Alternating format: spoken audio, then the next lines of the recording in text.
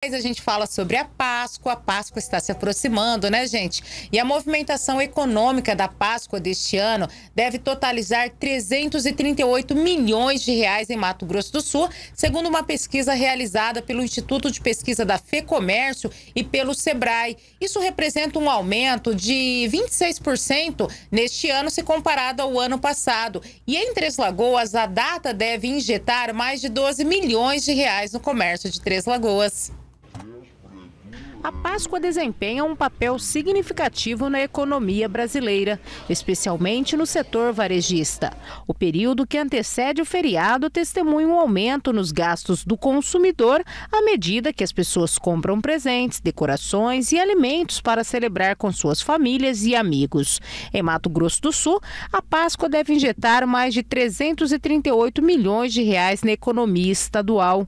Em Três Lagoas, quase 12 milhões de reais serão movimentados na economia local.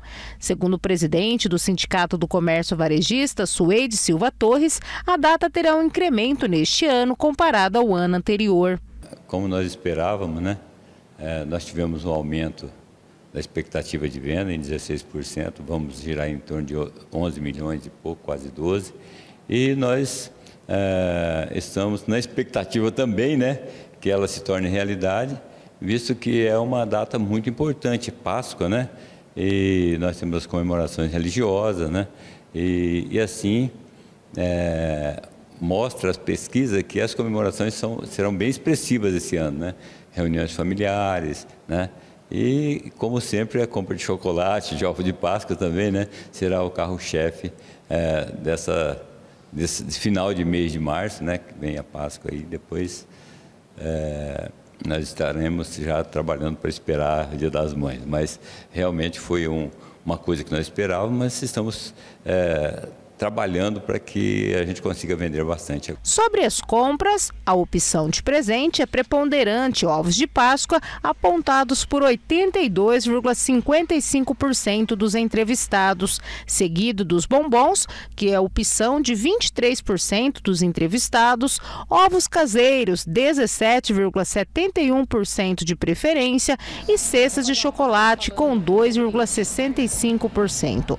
Por conta do feriado da semana Semana Santa, segundo o presidente do Cindy Varejo, outros setores acabam ficando aquecidos também. Por conta do, do, do feriado prolongado, nós teremos pessoas que viajarão de Três Lagoas para outra cidade, virão de outra cidade para Três Lagoas para visitar parentes, né, e, e se encontrar. Então, isso motiva, né, o, o, o a aquisição de produtos, abastecer o carro, consertar o carro, deixar em dias para funcionar, o, a cervejinha né, do, do, churrasco, a própria carne do churrasco. Então, acho que todos os segmentos serão é, prestigiados com essa, é, essa Páscoa, com essa data festiva que é muito importante no nosso calendário.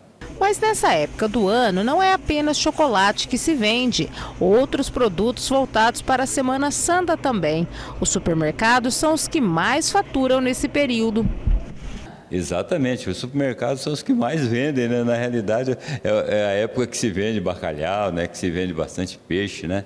Inclusive, nós sempre temos aí na feira, né? Nas vésperas do, do da, da Páscoa, aquela, aquele dia que se vende peixe, né? Então, é, que vende só praticamente peixe. Então, as pessoas têm essa oportunidade de de, de, de, comprar aquele produto que muitas vezes não encontra no dia a dia. Né? Então, acho que é, é uma oportunidade boa e o comércio ele já está preparado para isso. Né? Nós estamos é, em condições de atender muito bem. Então, eu acho que nessa Páscoa nós estamos tranquilos porque o índice de compras é, nas lojas é, físicas serão bem maior também né, do que, do que nas, nas, nas lojas online, na internet.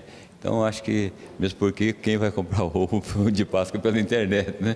Então, é interessante porque é, nós teremos um resultado, se não um, um, resultado tão expressivo, mas ele será bem concreto e bem vantajoso por conta de que todo o comércio de Três Lagoas será prestigiado, não só o do centro da cidade, como também dos bairros.